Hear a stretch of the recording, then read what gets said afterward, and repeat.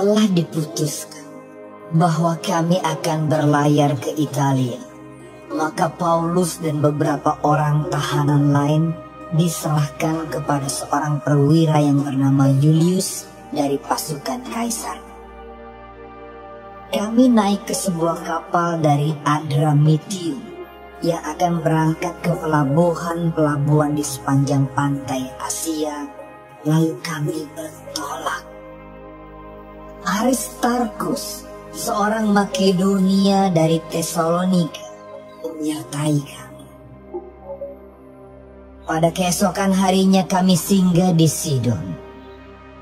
Julius memperlakukan Paulus dengan ramah dan memperbolehkannya mengunjungi sahabat-sahabatnya supaya mereka melengkapkan keperluannya. Oleh karena angin sakal kami berlayar dari situ menyusur pantai Siprus. Dan setelah mengarungi laut di depan Kilikia dan Pamfilia, sampailah kami di Mira, di daerah Likia. Di situ perwira kami menemukan sebuah kapal dari Alexandria yang hendak berlayar ke Italia. Ia memindahkan kami ke kapal itu. Selama beberapa hari berlayar, kami hampir-hampir tidak maju dan dengan susah payah kami mendekati Knidus. Karena angin tetap tidak baik, kami menyusur pantai kereta melewati Tanjung Salmone.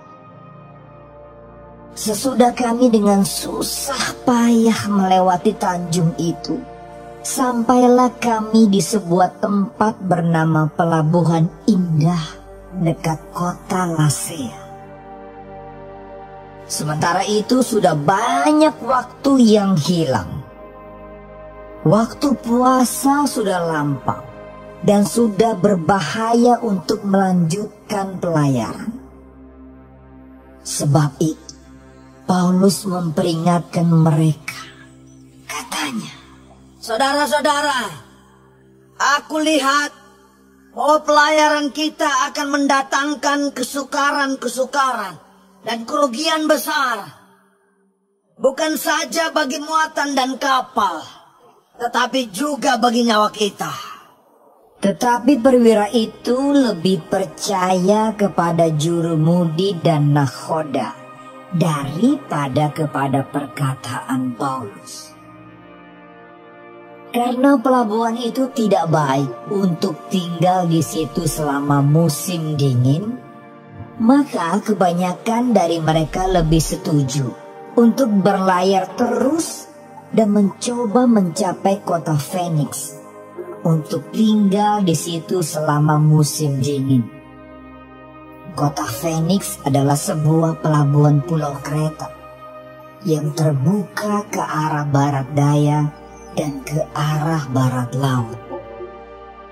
Pada waktu itu, angin sepoi-sepoi bertiup dari selatan. Mereka menyangka bahwa maksud mereka sudah tentu akan tercapai. Mereka membongkar sau, lalu berlayar dekat sekali menyusur pantai kereta. Tetapi, tidak berapa lama kemudian turunlah dari arah pulau itu angin badai yang disebut angin timur laut. Kapal itu dilandanya dan tidak tahan menghadapi angin haluan. Kami menyerah saja dan membiarkan kapal kami terombang-ambing. Kemudian kami hanyut sampai ke pantai sebuah pulau kecil bernama Kauda. Dan di situ dengan susah payah kami dapat menguasai sekoci kapal itu. Dan setelah sekoci itu dinaikkan ke atas kapal, mereka memasang alat-alat penolong dengan meliliti kapal itu dengan tali. Dan karena takut terdampar di beting sirtis, mereka menurunkan layar dan membiarkan kapal itu terapung-apung saja. Karena kami sangat hebat diombang-ambingkan angin badai. Maka pada keesokan harinya mereka mulai membuang muatan kapal ke laut. Dan pada hari yang ketiga, mereka membuang alat-alat kapal dengan tangan mereka sendiri.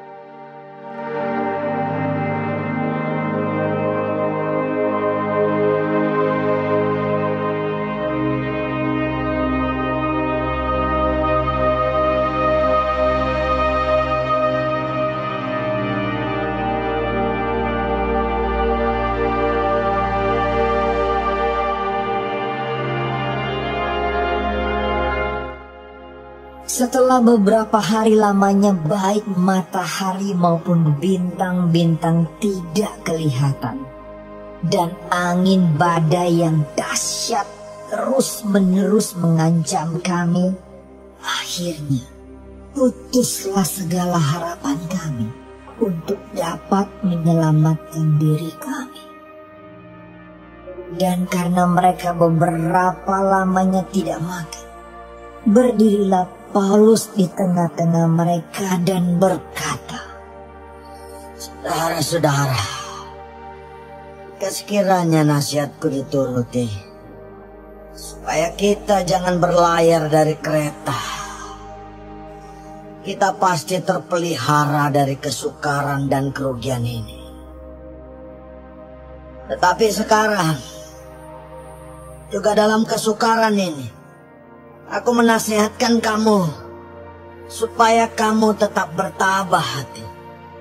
Sebab tidak seorang pun di antara kamu yang akan binasa, kecuali kapal ini.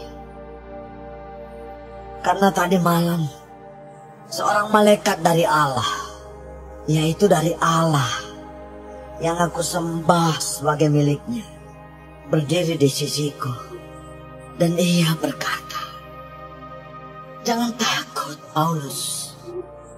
Engkau harus menghadap Kaisar. Dan sesungguhnya, oleh karunia Allah, maka semua orang yang ada bersama-sama dengan engkau di kapal ini akan selamat karena engkau. Sebab itu, tabahkanlah hatimu saudara-saudara. Karena aku percaya kepada Allah bahwa semuanya pasti terjadi sama seperti yang dinyatakan kepada aku. Namun kita harus mendamparkan kapal ini di salah satu pulau. Malam yang ke-14 sudah tiba. Dan kami masih tetap terombang-ambing di Laut Adria. Tetapi kira-kira tengah malam, anak-anak kapal merasa bahwa mereka telah dekat daratan. Lalu mereka mengulurkan batu duga. Dan ternyata air di situ 20 depa dalam. Setelah maju sedikit mereka menduga lagi dan ternyata 15 detik. Dan karena takut bahwa kami akan terkandas di salah satu batu karang. Mereka membuang empat sau di Burito. Dan kami sangat berharap mudah-mudahan hari lebih siang tetapi anak-anak kapal berusaha untuk melarikan diri dari kapal. Mereka menurunkan sekoci dan berbuat seolah-olah mereka hendak melabuhkan beberapa sau di haluan. Karena itu Paulus berkata kepada perwira dan prajurit-prajurit, Jika mereka tidak tinggal di kapal, kamu tidak mungkin selamat. Lalu prajurit-prajurit itu memotong tali skoci dan membiarkannya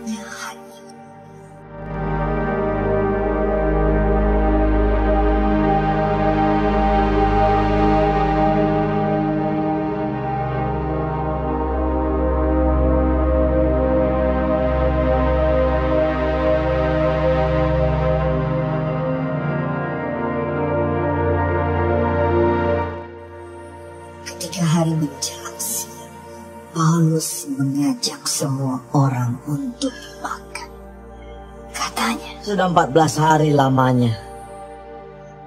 Kamu menanti-nanti saja. Menahan lapar. Dan tidak makan apa-apa. Karena itu, aku menasihati kamu. Supaya kamu makan dahulu. Hal itu perlu untuk keselamatanmu. Tidak seorang pun di antara kamu akan kehilangan selai pun dari rambut kepalanya. sesudah berkata demikian, ia mengambil roti, mengucap syukur kepada Allah di hadapan semua mereka, memecah-mecahkannya, lalu mulai makan.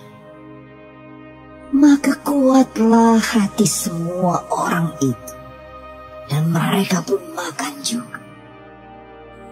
Jumlah kami semua yang di kapal itu 276 jiwa. Setelah makan kenyang, mereka membuang muatan gandum ke laut untuk meringankan kapal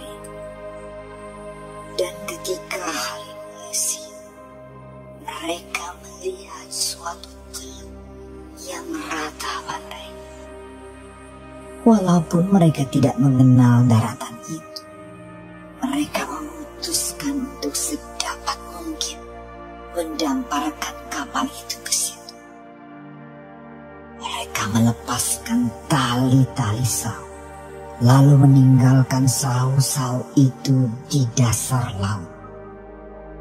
Sementara itu, mereka mengulurkan tali-tali kemudi, memasang layar topang supaya angin meniup kapal itu menuju pantai. Tetapi mereka melanggar busung pasir dan tandaslah kapal itu. Haluannya terpanjang dan tidak dapat bergerak dan buritanya hancur dipukul oleh gelombang yang hebat.